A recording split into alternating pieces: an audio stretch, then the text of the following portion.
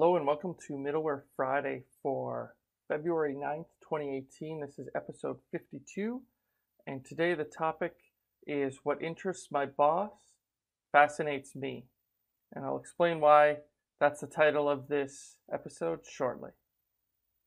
So, now onto the focus of this content. So, a few weeks ago, I published a blog post on the Flow blog called What Interests My Boss Fascinates Me and really, this post was inspired uh, through some conversations I had with Mark Speaker, who's an industry solutions executive in Calgary, Canada. I was recently up there uh, speaking at a couple of different events, the Azure User Group, and also an oil and gas digital transformation event. And we got chatting about Flow and what are some of the potential use cases of it. And so Mark's a pretty progressive guy and had a lot of interesting ideas. And one of the, the ideas was how he could use flow in order to really understand what's important to his boss in order for him to be able to provide good information to her in order to support her in her role.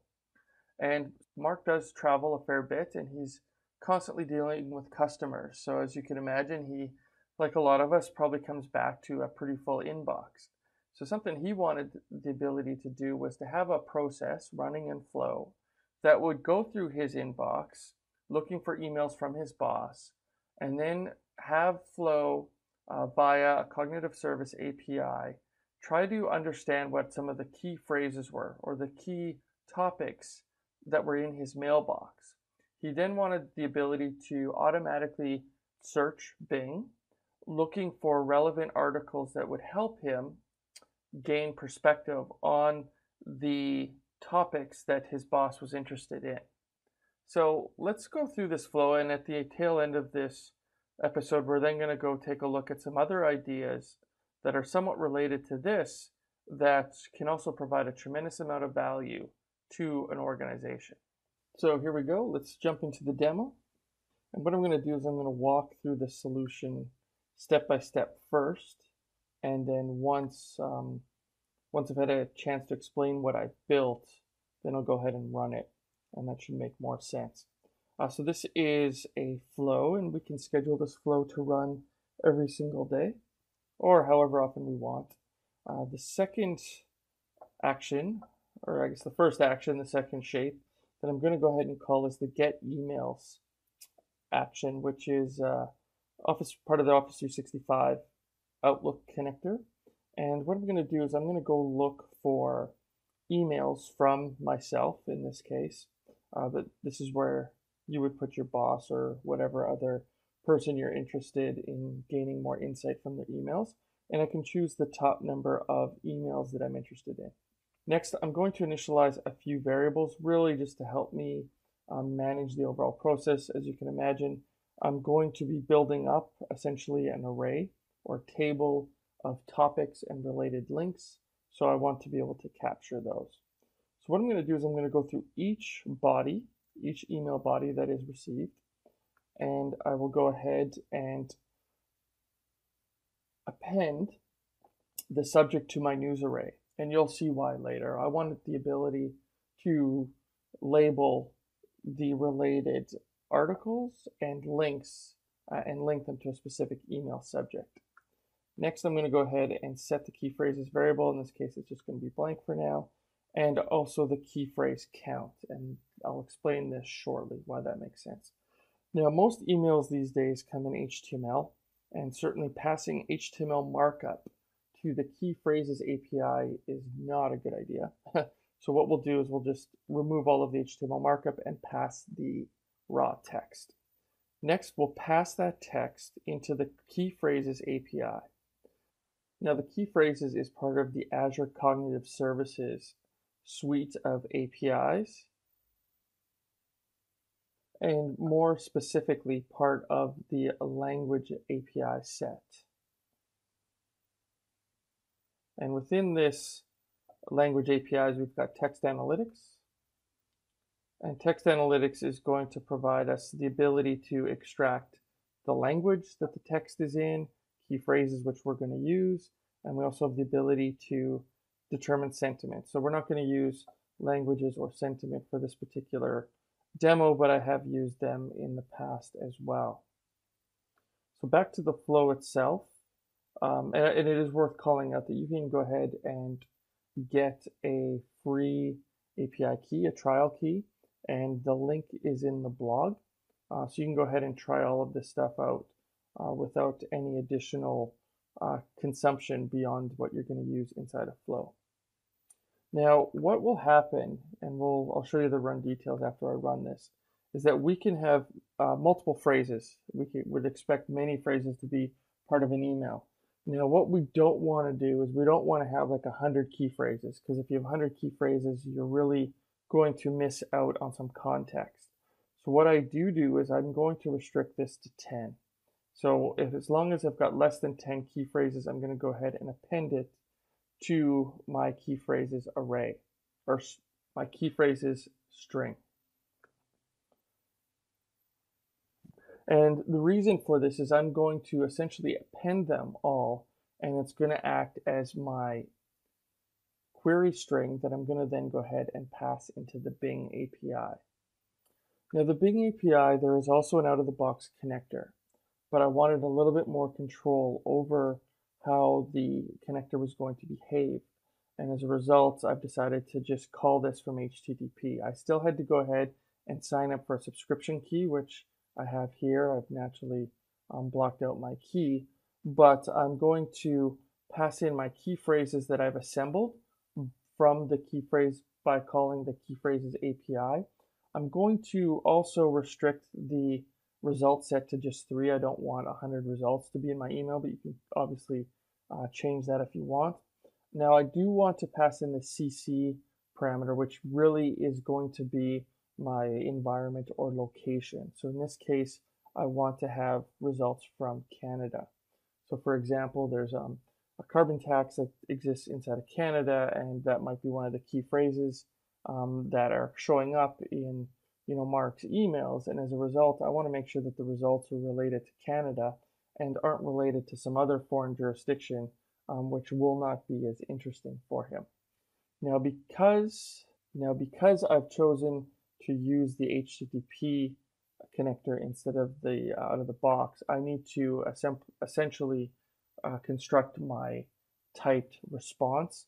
And all I did is I went into Postman and called this API myself, copied out the uh, response body, and then used it as a sample in order to generate the schema. So now I have an actual typed response. I'm going to go ahead and check to see if the response is a value. Now, one of the, the challenges if you have too many search terms, one of one of the problems if you have too many search terms, you're going to get basically a, an empty result coming back from Bing. Is going to be like, I don't know what uh, what you're on, but uh, this is the isn't a relevant query string. So that's why um, I've restricted the key phrases to 10, but I also want to provide a check here because otherwise I can get a failure downstream. Now, if there are no results, I will add um, to my news array variable that no results were found, just so that when the email does get generated that includes this digest of information, we can clearly understand if there were no results found for a specific topic. But otherwise, what I go ahead and do is I want to iterate through each one of the items that are returned from Bing and add it to my news array so that I can include the relevant links um, for the, the topic I'm interested in. Now, Bing will return, I think it's about five or six different attributes. I'm really only interested in two, the name of the article plus the URL, and the subject um, is something we've gone over before. This is where I'm going to populate it with the relevant topic or email subject that has been received. After I've gone ahead and selected my columns, I'm going to convert that to an HTML table, and then I'm going to go ahead and send the email out to myself. I've had, I have included some additional markup. I'm not sure if you're aware, but we do support some CSS style, styling within um, our body here, so I can go ahead and construct that. Now, in order to automate this, um, as you can imagine, the testing, I don't want to be manually sending out emails all the time. I've gone ahead and created another flow, which is going to generate these emails for me. So, so Bitcoin mining is obviously a big topic these days worldwide, but it's also something that's kind of interesting in Canada. Uh, there's a province um, called Quebec, which is actually embracing some of the mining operations that are leaving uh, the Asia and more specifically China. Um, so this might be a relevant topic for for Mark and his boss Sarah because um, there's obviously a lot of power that needs to be uh, generated in order to support these types of operations, and they are focused on asset-intensive industries such as power generation, mining, oil and gas pipelines, and uh, and, uh, and other businesses along those lines. Um, interest rates is a topic that uh, is very prevalent these days. We'll, incre- we'll include that. Uh, shale, gla- shale gas is uh, is another big topic these days.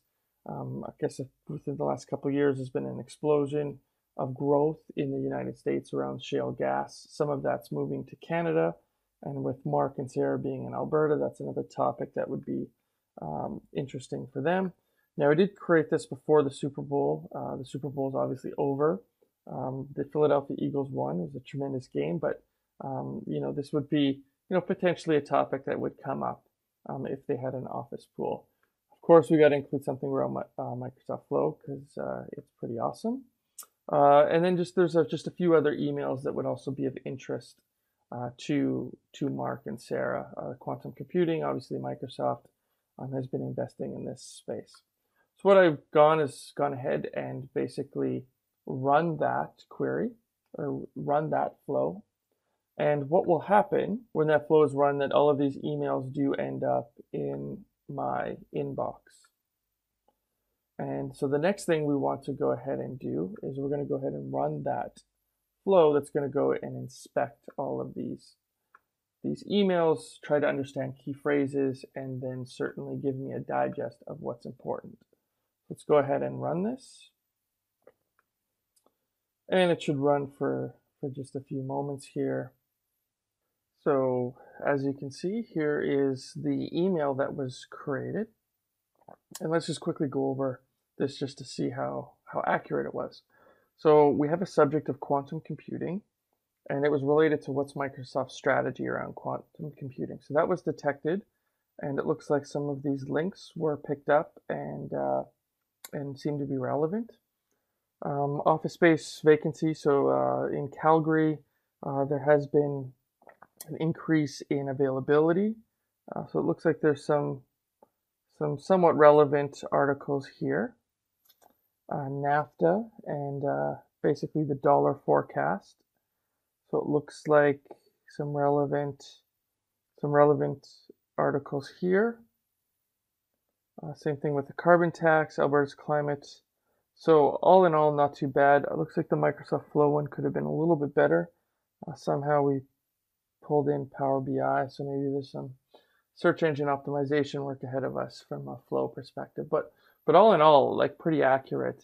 Um, now, I didn't go through and stage this um, too much. I haven't cheated here. Um, I think there's there are some natural limitations of this type of a solution. I think if you have um, really long emails um, that have a lot of details, maybe nested links, that's where it becomes a little bit limited. But I do think um, you know definitely some tremendous some potential around this, just based upon uh, this example.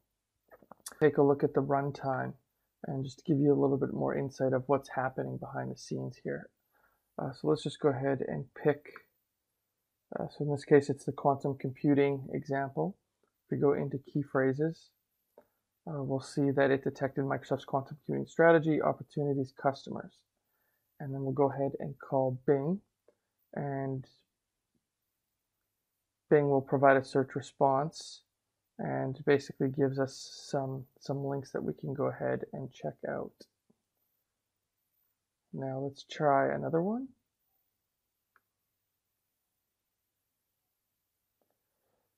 So here's Calgary real estate.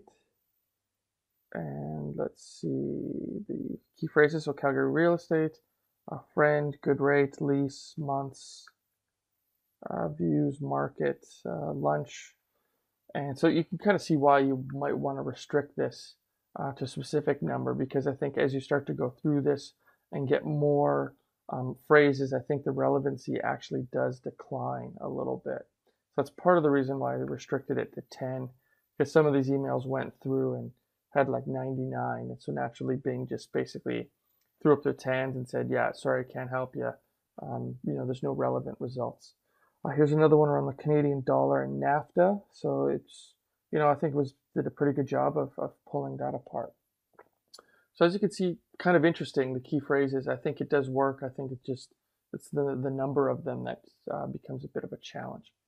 So lastly, I just want to talk about some other opportunities. And, you know, so this was a list that Mark and I came up with.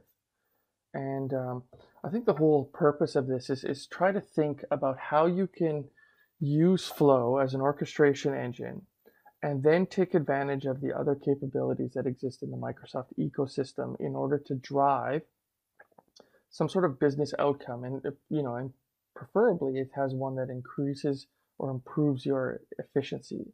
And I think that's part of the, you know, the, the idea behind some of these.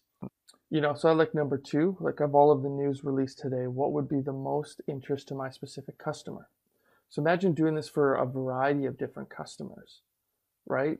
You know, there's a there's a story, and that's part of the reason why this scenario really resonated with me. It's it's a in the past I've had a, a sales rep who works for a, a different enterprise software company. I won't mention names here, but he was actually good at his job and he was very successful. And something that he would do every single day is he would go and read the paper. And he'd be reading the paper, but in with an eye towards his customers. He wanted to understand what news was going on out there that actually could impact its customers or if there was opportunities. He would then be able to walk in and meet with his customer and be able to to basically describe, you know, market threats or opportunities and how his company could actually help them navigate through those waters. But, you know, you know, I've, for sure, I'm sure for some people reading the paper is is um, something they enjoy doing, but think about doing that at scale. And I think that's what this technology allows you to go ahead and do. So I think that's really what speaks to, to number 11 here. What are the current competitive threats for my customers. Also, like who are my customers interacting on social media? I think a lot of people have, you know, we've seen the sentiment analysis demo where it's like, oh, okay, what are, you know, customers talking about to me, but also what are they talking about my competitors?